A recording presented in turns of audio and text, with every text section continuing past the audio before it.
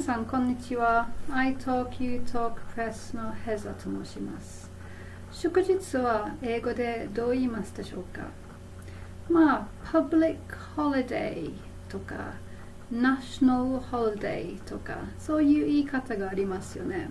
でもイギリスでは Public Holiday や National Holiday を言いません。代わりにこれを言います。Bank Holiday。 Bank は銀行ですね。銀行が閉まってるっていうことです。なので、イギリスでは祝日は Bank Holiday。で、ほとんどの Bank Holiday は月曜日にやりますので、よく Bank Holiday Monday を言います。例えば、Tomorrow is Bank Holiday Monday。そういう言い方はよく聞きます。